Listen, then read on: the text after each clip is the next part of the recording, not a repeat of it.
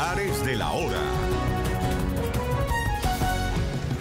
Hola, bienvenidos a esta actualización de noticias en NTN 24. Soy Carla Arcila, es un gusto acompañarlos a esta hora. Veamos algunas noticias clave de este momento en el canal de las Américas. La Organización de Naciones Unidas emitió en la tarde de este viernes un nuevo pronunciamiento sobre la crisis en Perú, que ya deja una veintena de civiles fallecidos. Vamos a Naciones Unidas con Alejandro Rincón en Nueva York. Buenas tardes, Alejandro. Buenas tardes.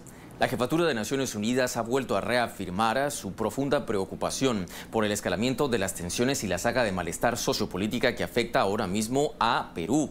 En ese contexto, durante el encuentro con la prensa del portavoz del secretario general, llegó la siguiente voz del jefe de Naciones Unidas y se les pide a todas las partes involucradas que mantengan el imperio de la ley y los derechos de libertad de reunión y a la protesta pacífica.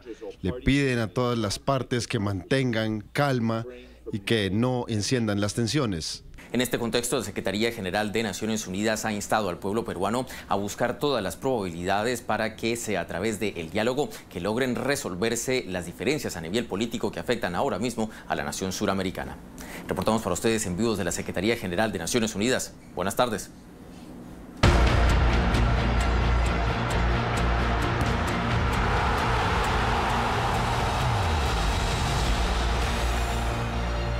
Y a dos días para la final de la Copa del Mundo, fanáticos de la selección argentina hacen hasta lo imposible por conseguir entradas para el partido.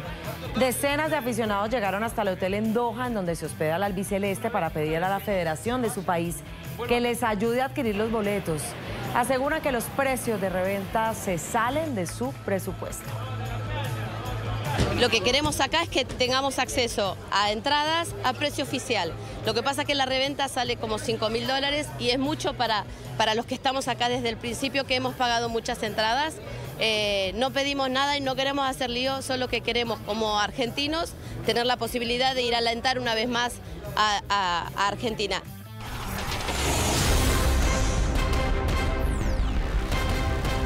Y hacemos seguimiento a la crisis política en Perú. En las últimas horas renunciaron los ministros de Educación y Cultura peruanos.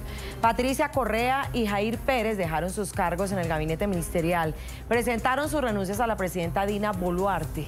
Dicen que los hechos de violencia en el país y la crisis que se vive en todo el territorio, que incluye la muerte de varios ciudadanos, hacen insostenible su continuidad en el cargo.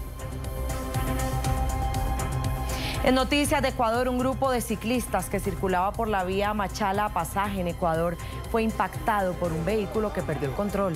Tres de los ciclistas murieron.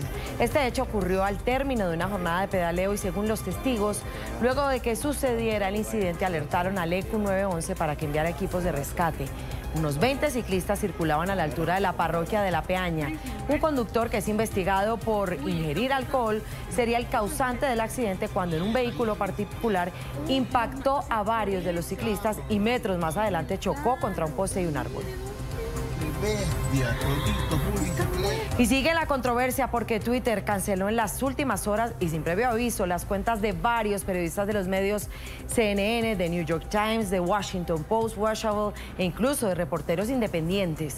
Todos tienen en común haber escrito sobre el propietario de la compañía, el multimillonario Elon Musk, y sobre sus decisiones después de adquirirla.